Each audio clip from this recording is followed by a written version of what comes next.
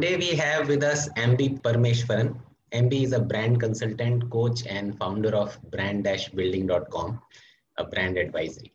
He's a much in demand speaker at corporate industry events and an award winning best selling author of 10 books. Ambi spent his 40 year career in corporate India with Boots Company, UDI Yellow Pages, Rediffusion, Advertising, and FCB Ulka. He spent 25 years with FCB Ulka, building it into one of the India's top five ad agencies. And over the last five years, he has served on corporate boards as an independent director, as a brand coach to several small and large brands, and as a mentor to exciting new startups. He's worked on iconic brands and companies such as Tata Wipro, Z, TCS Thermax, Tata Indica, GSK, Tropicana, Amul, Nirma, LIC, Santoor, Sundrop, Abbott, ITC, etc. And Ambi now reads, writes, teaches, and coaches leaders across multiple domains. And he's a guest faculty at IIM Calcutta, IIM Ahmedabad, MICA, and an adjunct professor of marketing at SP Jain IMR. Ambi's column appear regularly in the Business Standard and several other business publications. He's a distinguished alumnus awardee from both IIT Madras and IIM Calcutta, an AMP graduate from Harvard Business School, a PhD in management from Mumbai University, and a CFI certified CEO coach. He has recently released a book, Spring Bounce Back Stronger from Every Rejection. And I started reading it and I simply couldn't put it down. Full of real life stories and some solid advice to handle rejections. So thank you, Ambi, for joining us on this channel. So thank you. Uh, thank you, Rohan, for inviting me to be on your channel and for this interview. Thank you for your kind words and glad to know that you're enjoying reading my latest book, Spring, Bouncing Back from Rejection. Uh, the book is there at the back, uh, strategically positioned, right? So that whenever they see me, they can also see Spring. So anyway, thank you. Thank you for, uh, for inviting me. And I look forward to an engaging session with you and with, of course, with the audience. Yeah. So this show is basically focused on learning through stories, kisse kahaniyon se, so real life stories. So tell us a little bit about your personal life journey beyond all this professional qualifications and experience. Well, you know, I mean, uh, I am not a metros. I mean, I'm I'm from Chennai. I'm not from Mumbai or Delhi. Uh, from a pretty conservative South Indian background. I did have a privileged childhood because fortunately for me, my grandfather had come from a village to a to the big city with nothing in his pocket and built his fortune. So I got the benefit of that. I didn't have to struggle too much uh, and uh, had a fairly, I would say, a privileged background. Enjoyed my uh, school uh, school life, which was in uh, Madras, you know, conservative part of Madras called Mylapore which is where the famous Kapaleeshwar temple is located. So I studied in a, in a school, which was a very nice, cozy school with just 30 students in each class. And uh, the teachers knew every one of us. And uh, they even knew our parents. We used to go to the same music concerts. So my mom knew my class teacher. And uh, so it's, it's like a, uh, you know, Mylapore itself was like a little bit like a village, so to speak. So everyone knew everyone. So I had a very good childhood. A lot of, I mean, we still have a very vibrant uh, group of our school friends. I was not sure what to do. You know, when you finish school, you're not sure what you want to do. So my father told me to do first group, which is math, physics, chemistry and he told me that I should go to IIT. I mean, when he told me that I should go to IIT, I didn't have even have an idea what I knew IIT was some kind of engineering college, but I had no idea that it was a difficult college to get into. So that I discovered later. But you know, getting into IIT itself was not all that difficult. We put in some effort. Uh, five, six friends of ours got together and formed a group, and we actually all five of us managed to get into IIT. Pretty decent ranks And then IIT was a, a mind blowing experience because, you know, you're uh, brought up in a very conservative household. Uh, we were not even eating, you know, onions and, and garlic in our house. And then you go into uh, an ocean called IIT where you have class, you have, you know, guys coming from all over India, all kinds of background. So it was mind blowing. So the IIT experience, uh, Rohan, and you've been through that, so you know you can empathize with it. Uh, is that it it it opens up. You know, you'd have gone through a different experience in IIT. I went through a different experience. Everyone thinks they come into IIT and then you think uh, you know you're a genius uh, because you managed to crack the IIT entrance exam, and then you go into a classroom where there are people who are much much better than you. And then you kind of you feel belittled almost because these guys you take one hour to understand a problem and this guy has understood it in 10 minutes and solved it in the next 10 minutes. So you suddenly realize you know the brilliant kids around you and you get exposed to other things so in iit in at least those days academics was important but there was also a lot of other things we used to do whether it is dramatics theater, skits, music, art, very vibrant reading culture beyond textbooks. So IIT, uh, you know, the fact that you live together, uh, you know, every day, the whole culture of IIT opens up your mind. I mean, at least those days, it was not a very nerdy. Yes, there were well, probably 20% of the class was very nerdy and very bookish, but the balance, 60, 70% was pretty open. Yeah, you studied, you had a lot of exams, a lot of tests. So you studied for that. You managed to, after the first semester, you crack the system, you know what to do. And then you actually develop other things. You read, you listen to all kinds of music, you get exposed to different kind of literature. So that was mind expanding IIT. But at the end of my fourth year, I knew I was not a great, I will not make a great engineer. And that's when, you know, one decided to uh, change course and go and do an MBA. Fortunately, managed to get into a decent, uh, I would say, probably India's best business school in Calcutta, and uh, and then of course my journey continued. Right, so a somewhat atypical background, business family, uh, getting into engineering. I'm probably the only engineer in my extended family, uh, only guy to go and do an MBA again from my extended family, among all my cousins, I think I'm the only guy to have gone and done a master's. Engineer, yeah, I have a cousin who's an engineer and another cousin who's a doctor, but other than that, uh, I think I did pretty well academically. So that's the early part of my life, uh, Rohan. Hmm. So I would like you to describe the soil and roots behind the tree and fruits. So what has, you know, uh, what have been your inner thoughts and narratives and how, how, how did you build them up? what what were some of the events which shaped you many many small events shape you you know you don't realize that you know I, when i was in school in eighth standard or so i was not among the top students in the class but one particular teacher mentioned it to a friend of mine called murli and murli told me that hey ambi you know rs sir said you'll probably top the class so I, I said, look, yeah, Murli, I'm not anywhere near the top. Yeah, there are 30 students, there are 10 students who are scoring better than me in every test and every exam. I don't know whether I can top the class. So he said, no, this is what he said. And uh, so if you put in effort, so actually that kind of spurred me on to study harder and do well in academics. So that's one. The other is I used to score very poorly in English. These are some stories from my childhood, which, which yeah. you know, suddenly you realize, right? Hmm. Uh, I used to score very poorly in English. And I remember we had a teacher called Saraswati, mm. and uh, she called me aside and she made me sit down and said, "Look, uh, Parameswaran, you know, you're a bright student, but your English is not up to the mark." So I said, "Miss, you know, what should I do?" So she said, "You know, you're thinking." In Tamil and writing in English. I did the same. Right? So, mm. how did you fix it, Rohan? Mm. No, I think I uh, for me the fixing was was it happened much later, even after my MBA, where where a, a mentor actually shifted my thought, saying that you You have to just communicate your your message through instead of the language.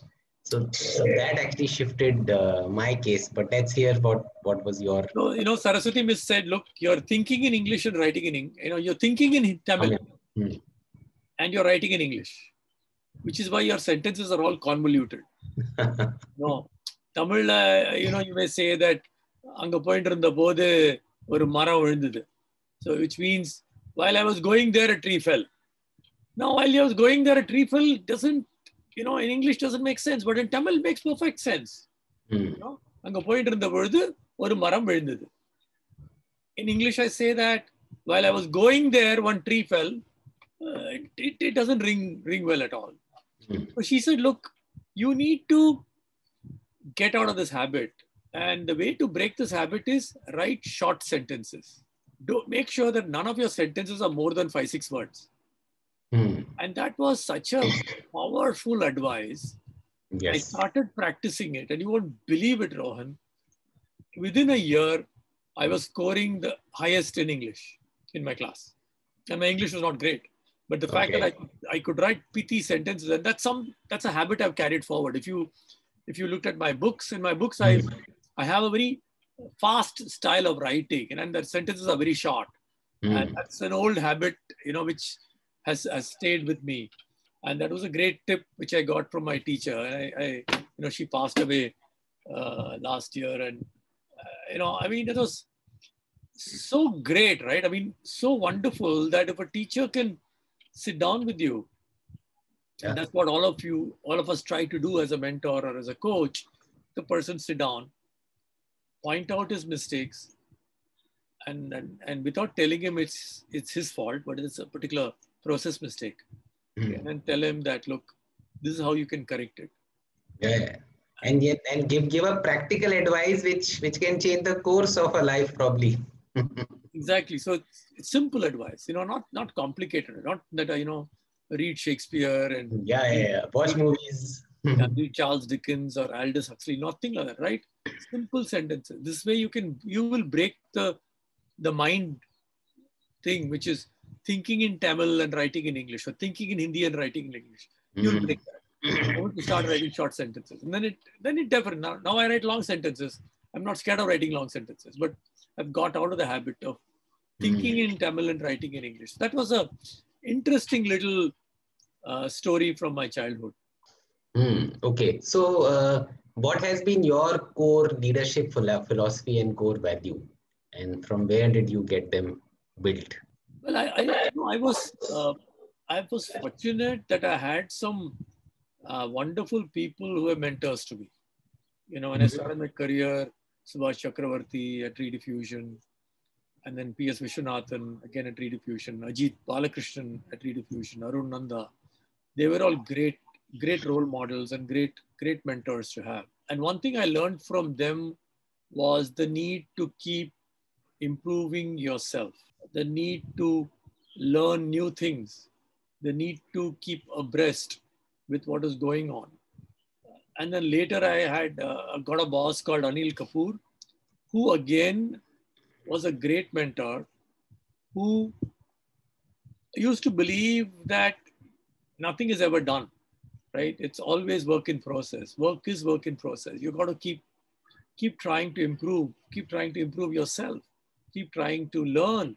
So that's been one core philosophy of mine, which is, you know, learning is never over. You may be 45, 50, 60, 65, doesn't matter. You have to keep learning. You have to keep improving yourself. And your job as a leader is to help your team fly higher. You know, help everyone around you to improve their game. But that's that's how you succeed. And that's that's you know that's what I learned from my uh, past mentors, and that's what I've tried to live. So I've today work with work with companies, work with individuals as coaches. My whole job is to try and open up their mind so they can fly a little higher than what they were flying earlier, and which is what you know my mentors have done with me in the in the past. One question is that what did you bring forth that you could get value from these mentors because these mentors will have a lot of people in their lives but not maybe everyone would have got impacted that way. So what did you bring forth to the table to allow those that contribution to come to? I think uh, i think all these mentors were open to feedback. Okay. So it was not as if it was a totally one way street. So you could actually sit and have a serious discussion with them okay. And the openness right? Openness to give feedback openness to take feedback. And i think that's what they brought. They i took to the table right? You have to take something to the table. What is that you take to the table is the fact that you can give feedback. You can be mm-hmm. you're open to criticism. You could have a serious disagreement saying look this is what you want me to do and i don't agree. And then you have a serious argument. At the end uh, they may say yeah you got a point. Go do it your way or they may say, sorry, I think I am right. Do it this way. And then you quietly do it that way, right? Because, you know, they are the boss and they know better. And, and uh, I'm not saying they know better in a derogatory way, but they know better because they have many years of experience. They've seen all this, which you don't know. But there have been cases where I've had a serious disagreement. I said, I'm sorry, you know, this is not going to work. Uh, I want to go this way they think about it as okay, if you think it'll work, go ahead and do it. Right. And and and sometimes it works, sometimes it doesn't work. You go back and say, sorry, boss, it didn't work. Okay, I told you, but TK, it's okay. You learned something. Next time, don't repeat the same mistake. And I think that's something which one has to allow one's team to do, which is to come back to you with honest feedback. Uh, and you should be able to take it. You know, I don't know whether I was as good at taking feedback as my bosses, but I've mm-hmm. tried to say, look, this is what I think, and what do you guys think? And then they say, no, we don't agree. I say, okay, then let's do it your way and see what happens. So, mm. so, uh, so basically, you you kept having engaging into a dialogue and speaking your mind as well, rather than just making it a one-way street. And uh, and at, at different point of times, sometime it probably became a one-way street, but after a dialogue absolutely you know uh, absolutely as a as a good uh, as a good mentor you have to listen to the other guy mm. and if you're a mentee you have to give feedback because only then will you be able to learn right mm. so hmm. that's been i mean that's been my guiding thing that you know just because you're the boss boss is not always right mm. and the boss should always have an open mind to take feedback on hmm. uh, something which which may be wrong but you know you have to give feedback. So what would you call uh, if anything as a turning point in your life? In all the journey what was the where did you find a biggest structural shift in your mindset or the way you looked at the world or work? Was there would be series of events but anything which stands out? I, I suppose one of the turning point in my life was joining advertising. Hmm. I am Calcutta as an engineer and an MBA, joining a relatively unknown agency in 1979. Hmm. You know, it's a little bit, you know, today thinking back, it was it's a huge a risk. it was a crazy risk to take. And you add to that, I was a very good student. Hmm. I was what they call, and you've been in IIM Calcutta, you know, I was an ice call, you know, mm. I was a top ranker, what we call the honor roll student. Mm. My name is up there on the on the honor roll. The honor rolls. Yeah, between L1 and L2. So, you know, I could have, I'm not saying I would have got the job, but I could have got a job in a top FMCG company. I could have probably even tried for a job in in a bank, in a multinational bank, because I was, you know, like in IIM Calcutta, you don't have one major. I was I'd taken a balance of both finance and uh, marketing. Marketing. Mm. I was pretty good in finance. I think I'm not sure, but I probably topped the the finance mm. uh, group. Mm. so I was very good at finance. I was pretty good at marketing. Uh, so I could have even tried. In fact, some of the guys who were applying for Citibank later thanked me. Mm, saying, you cleared one, one seat yeah, for us. that bank, yeah, tu, tu nikal gaya, yaar, you know. So we are happy because I, I had a, I pro, you know, I may not, I might have probably muffed up all those interviews. So let me also clarify. Mm-hmm. But that was a big shift. Uh, not getting into marketing, not getting into finance, not getting into a big company, getting into a small company. That was probably uh, the biggest, uh, biggest shift, that big turning point. The next uh, big turning point probably was joining Ulka advertising when uh, a lot of people, including Alyque Padamsee, who was then the CEO of Lintas, telling me that you're making a mistake because uh, people thought Ulka may not survive because it was going down and uh, Anil Kapoor had joined and he was trying to rope in a few of us to come in. People thought he will not be able to revive the company, but you know, uh, he's a great leader and he assembled a fabulous A team and we managed to perform what do you call a perfect miracle. In both cases, I want to ask you the question what was going in your head which allowed you to take that risk or daring while, while against the popular advice? Difficult to difficult to think back and and put one thing, but you know maybe I had probably foolhardy, but I was confident of my skills. Right? So I knew that let's say rediffusion, if I join rediffusion, if it turns out to be a mistake, a year later I can get another job. Mm-hmm. Because I knew my subjects, you know, I, I knew I was very, very good at what I could do. In mm-hmm. my summer assignment, a summer internship, I'd proven that I can work very hard and do things. Mm-hmm. So I probably was supremely confident that if it fails, I can get something else. Now, cut back to when I joined Ulka, I had said I want to move to Chennai because I've ne- never never worked and lived and worked in Chennai. So I moved to Chennai. Again, I was 100% confident if the the Ulka agency goes south, then you know I will go out and get something. I had a good track record. I'd worked in marketing, I'd worked in sales, I'd worked in advertising. So, you know, I will I will get something. You know, I was so I, I think you know, thinking back, you do whether right or wrong, when you take those risks, uh, you got to have that inner courage to say that, look, if this goes down, you know, I'm not going to cry. I will find something else to do. So, um, before we come to the rejection book, uh, what would you say would be your biggest failure or setback which you turned around in life? There are some in the book itself, right? So, there is this, uh, I've written that uh, story about how you know, we, we were called to make a, a pitch to a car account. Mm, I remember Tata Motors. 1997, Hyundai invited us and ah, yeah, Hyundai. we went and made a presentation and we thought, you know, we had done a good job. But uh, at the end of the presentation, I was walking out. I knew in my bottom of my heart, this was a lousy presentation. So mm. I told my colleagues, five of us had gone from Bombay to Chennai for the presentation. So I said, yeah, this is not working. You know, we don't know what to do. And my colleague said, no, no, I think we did a good job. I said, sorry, we didn't do a good job. So mm. as expected, we didn't get the account. Mm. And we came back to Bombay and I sat with my the MD of the company, Anil Kapoor, and I said, look, mm. we didn't do well. He said, Ambi, why, why do you say so? I said, look, I don't think we know enough about advertising for cars.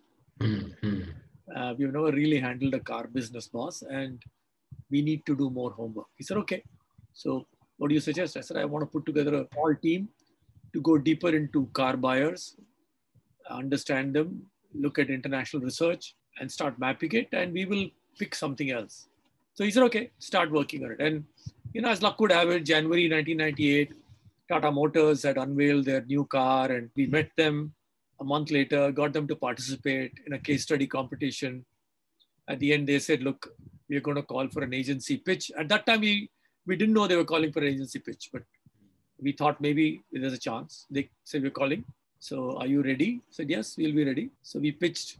And we put in a lot of effort. I mean, uh, some 30 people worked for like for a month and a half we did an amazing amount of work we did research we did campaigns of course we had done we did a lot of work 15 agencies pitched for that business, so 15 or 14 agencies pitched for that business, including the biggest and the best agencies in the country. And uh, we won the pitch. That was a big turning point for the whole. And that time, the Tata Motors people had told me that, look, we will be your biggest account. And I was, you know, I was not sure because we had other good account. We had Hero Honda, we had, I think we had got Whirlpool by then, we had uh, Amul, we had Wipro, we had ITC, some part of TCS. But you know, but I said, yeah, yeah. But but it turned out that Tata Motors was our biggest account from 99 to almost till 2014 or so. And uh, that was a big, big win. And that came out of a failure, right? It came out of rejection. Mm. Uh, fortunately for us, at the end of Hyundai,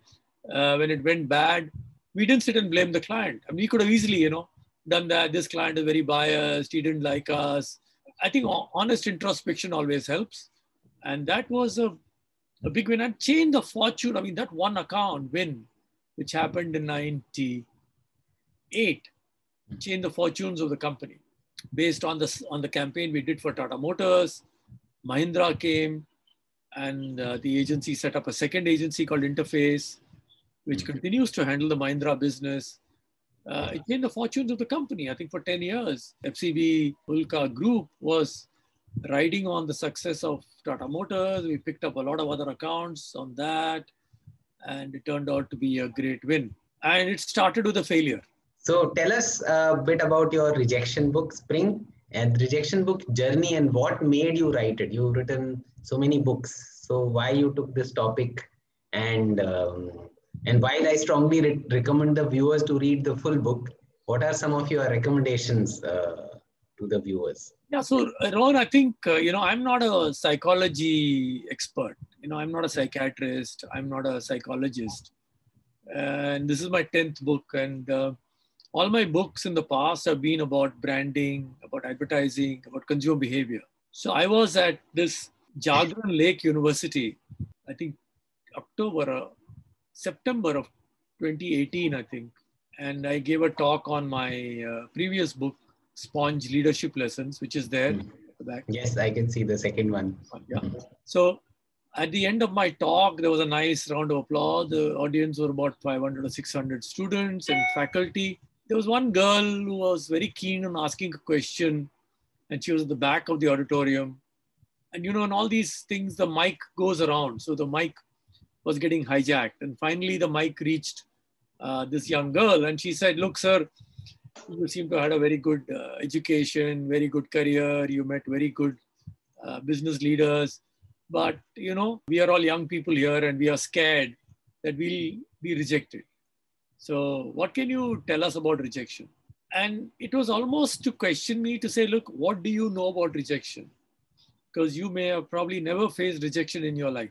So that's when I stopped and I thought for a bit and I gave a extempore uh, talk for about 10 minutes on, on what is rejection and how I faced rejection and how I overcame those rejection. I spoke about how I was, you know, my interviews, you know, the two interview stories I've written about the book. Yeah. How it went and how I learned from that and, and how, how I managed to find redirect my career. And at the end of my 10 minute talk, uh, there was a standing ovation. Uh, my one hour talk on Sponge got a nice applause. I have a standing ovation, but this, I don't know, some people suddenly stood up and started clapping, and the whole auditorium stood up and started clapping. So I was quite amazed. I realized that maybe, maybe the young people are very worried about rejection. And there is something to this, you know. And it got me thinking. And then in November, uh, when I was in IIM Calcutta and I was getting the, the Distinguished Alumnus Award, and every one who gets the award is allowed to speak for 10 minutes, kind of an acceptance speech. And I repeated a part of that, ex, you know, part of that rejection speech at IIM Cal. And, and Rohan, you know, the IIM Cal crowd, you know, they don't clap very much for anything uh, except if you are, you know, Steve Jobs or Indra Nooyi or someone like that. So I was actually quite surprised that they actually gave me a very warm uh, round of applause when they heard my rejection story. And then I said, look, maybe this is a this is an interesting topic for me to kind of dig into. And I started reading up on the topic, and I spoke to my uh, literary agent. He said, "Yeah, uh, looks interesting. Let me talk." In fact, I had not written anything I just explained the story to him on, you know, like this. He went and pitched that to the publisher, and the publisher said, Done, we want it. And then I started, you know, doing research. I must have read probably 20 books on resilience and rejection and all that, uh, several articles from psychology journals. Then I said, This book, if I'm going to have 20 chapters, only four chapters will be about me the balance 16 chapters will not have anything to do with me. Finally, the book has 60 different stories. Out of mm. that, about six or seven are from my life. Mm. The others are from outside. So I, I talk to people. I talk to senior bureaucrats. I talk to Olympic athletes. I talk to startup entrepreneurs. Uh, I spoke with academicians. I read up uh, interviews, uh, articles about musicians, about authors, about film producers, and the book slowly took shape. And it, you know, it was ready uh, actually in January or February, and we would have launched it in May. Mm-hmm. But because of the pandemic, the launch got pushed to October.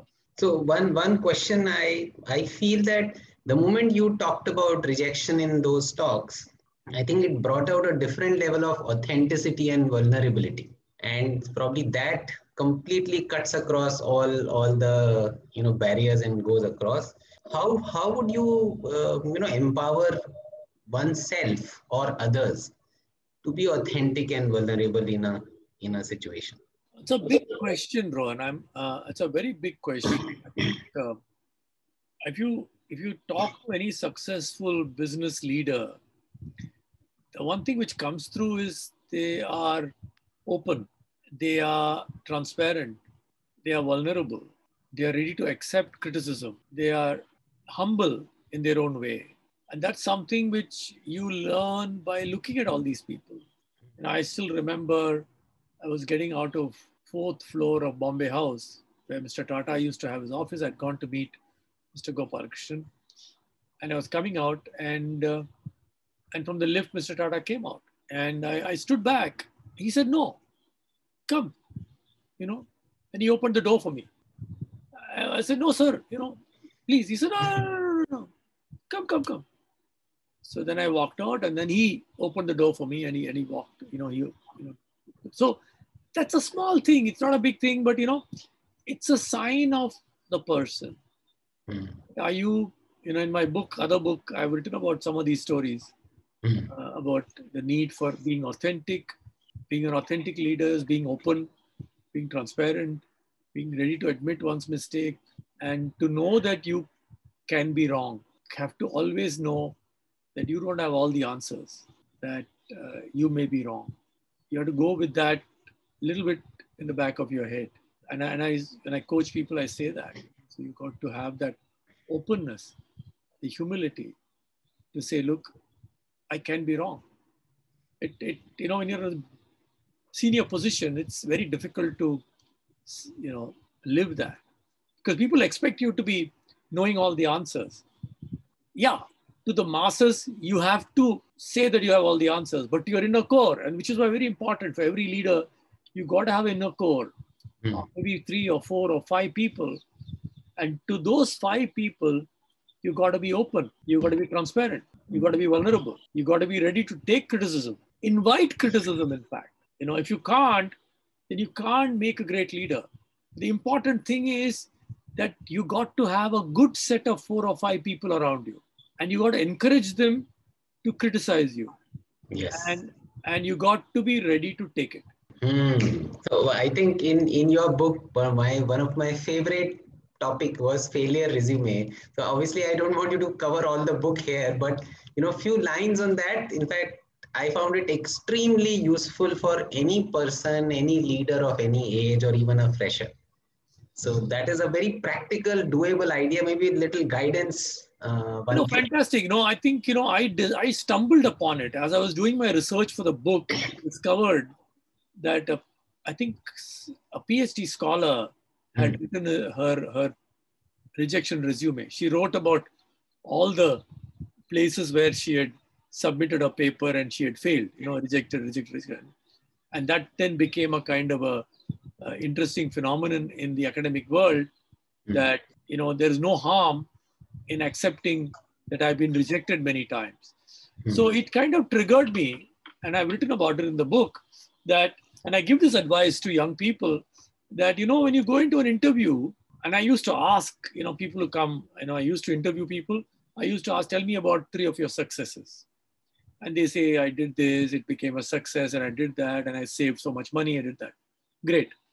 Then I say, look, tell me about three of your failures and what have you learned from that?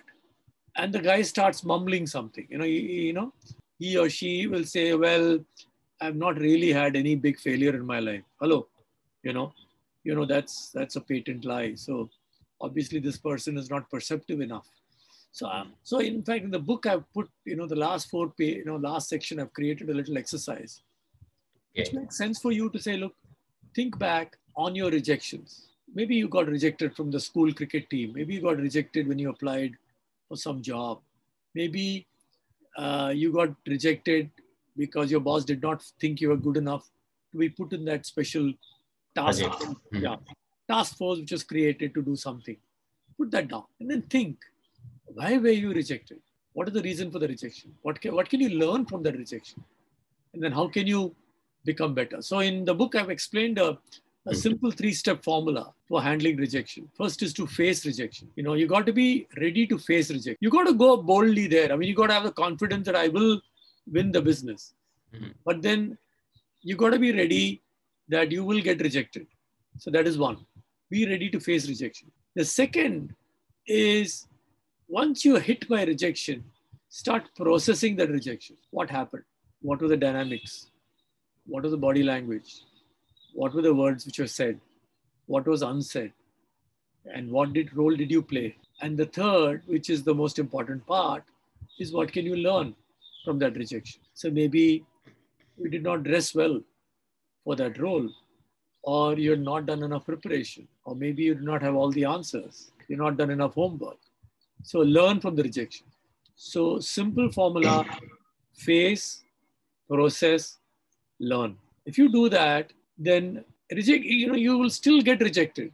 But with every rejection, you will become that much better at what you do. I, I also noticed that, you know, mm, by working with many leaders, I have noticed that some the past rejection still haunts them, you know, childhood times and others. And my sense is what you are suggesting can be also done with retrospective effect. That I look at now and look at those four or five things that, which always bug me whenever I think of them, it you know explodes something in me. And do this or your this whole philosophy of facing, processing, and learning, even with retrospective effect, and probably it can still have that power of bouncing back. You can collect past rejections and and make a powerhouse of of spring in you now. Absolutely, absolutely. You can think back and say, you know, you got rejected in something. What did you do wrong? And what did you do right? And how could you have done it better? Right. And then tomorrow you can then, if you face that tomorrow, you'll be able to spring back. And that was the idea of, you know, giving that. In fact, my literary agent and I had a big argument. I said, you know, I want to give that little exercise the bob back. He said, no, youngsters don't want to do those exercises. I said, no, yeah, you know, I believe I should do it. So I insisted and then we put it there.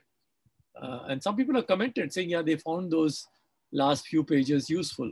You know, it's been a learning experience. I mean, on when you, I believe that if you were to write a book of 50,000 words, you probably need to read maybe 500,000 words, right, to get that 50,000 words. And you'll probably write 100,000 words and cut out 50,000 words, get to 50,000 words. So uh, every book is a is great fun to do. I enjoy. I mean, I did so much research to do write my book Nawab Nudes Noodles, which is 50 years of Indian advertising. I had great fun, you know, researching it, putting it together. Same thing with my book Sponge, which came out two years ago, and same thing with Spring, which came out this year. So every book is fun to do, and uh, can say I'm blessed that you know someone is ready to publish the book and uh, people are willing to buy the book. And you know once in a while i get a nice message from someone thanking me for the book. So, while we are on this book topic i i think a whole lot of viewers watching you would also be budding authors who who have a book in them and for years the book is in them and it is not coming out. So what would you what tip would you give to them? You've written 10 books so how to deliver the book out rather than just carrying it forever so I think, uh, you know, Chandramouli and I did an interview with Anand Rangaswamy. Uh, Chandramouli passed away, unfortunately, earlier this year. But, you know, uh, Mouli had this good point. He said, everyone has one book in him, in him or her. Everyone, right? But we don't write it. We spend our time talking about it. You know, I should write a book, I should write a book, you know, and we never write it. So I think the first thing is to start writing. Amit Varma, who has this fabulous uh, podcast called The Seen and the Unseen, he also runs a writing workshop, which I attended. uh, earlier this year. And he tells a simple thing. He says, You write every day. Start writing every day. 100 words, 200 words, 300 words, doesn't matter. Just write. The process of writing every day will get you into the habit of, you know, putting things down. So you may write 100 words one day and next day 200, next day 300, and it'll keep growing. And then, you know, start writing after you got to about 10,000 words. You may say, look, this is not working. I'll write something else. Then you start writing again. So the only uh, way to get out of this inertia is to start writing. So even in my own case, you know, every book takes two years. I, I kind of make some kind of a mental model of what the book is going to be. And I start collecting like a, like a crow building a nest. I start collecting uh, bits and pieces and start putting them into folders. And then after six months, I sit back, look at those 10 folders. I throw away four folders and I make the other six folders, I make them into 10 again, and then I start writing. Okay, so this is a process I follow. Every author, you know, follows his or her own own process. That's my process. And when I, once I've collected the material, then you know it kind of flows. But if you've never written anything, if you've never written anything, start reading first. Make it a habit to read. you know, read every day. Spend an hour every day reading Hmm. Whatever books which you like, you know, start reading and then start writing. And then the book will come out, you know, magic. Hmm. So, uh, Ambi, what now you you have the 40 years of experience and having, you know, done a lot of courageous things, handling rejections and many other things. What are you looking forward to in life? What from here on? Uh, Rohan, I, I've, you know, unlike you, I, I was in corporate life till the age of whatever 60 and i've been doing my own coaching and consulting and teaching and mentoring and all that for the last five years. Thinking back i wonder maybe i should have started doing this like you you know when i was 55 you know i should have got out at 55 and started doing all these things because today i'm doing a lot of things. I sit on boards. I, I, I do executive coaching. Morning i had a had a wonderful uh, closing session with a very senior executive and i was touched because he said look we've been talking for the last year and a half. And I think, you know, this, these conversations have made a difference. And, and I, was, I was very happy to, to hear that. So going forward, you know, my, like you, my job is to help people and help entrepreneurs, help business executives to perform uh, a little better in what they do. So my focus area, of course, is branding and marketing so I, I try and stick to that. And uh, I think there's so much entrepreneurial energy in this country uh, that you know all of them can do a little better marketing, a little better branding. You know, we can be one of whatever five trillion or, or more as an economy because the whole process of marketing and branding improves the economic cycle. A lot mm. of time people are scared. You know, people say, "Are advertise karna is very expensive." I said, "No, do small stuff in your town, in your district, and then you take it. And I give them the example of uh, some of the brands I worked with, you know, started with one state, and then you get to the next state, and the next state, and next state. You, know, you then become a national powerhouse brand. So ideas to help help uh, entrepreneurs and companies to do better. And if I achieve some level of success, I'll be happy. So final question is what advice would you give to a smart and driven leader or a leader in making? I think every leader's leader has to, you know, dream. You got to dream of a future which may appear unachievable. Right? That's mm-hmm. the purpose of a leader. And then of course you need to build a core team which is ready to work with you on that dream. And then the dream will happen. Maybe it will not happen in five years. It may happen in six years or seven years, but it will happen. You got to have that inner conviction to, to do that. And, I, and you'll do it. Thank you very much, Ambi, for your time, as well as the nuggets and the events and the stories. And uh, I'm kind of going to become one uh, one person who will push your book to a lot of people because last five six days I have read it, and it had made a huge difference in my own life. And uh, in these two three days also i have you know made some difference in some people life who were you know struggling with rejection. So thank you very much for uh, for the for who you are for actually being able to bring out what you have in words and in terms of tools. Because otherwise otherwise it might just get carried with you. No thank you. Uh, thank you rohan for having me on your on your show. It was uh, delightful speaking with you. Thank you for your kind words and uh, wish you and wish all the viewers all the very best in their in, in dreaming big and in achieving their dreams. So thank you very much.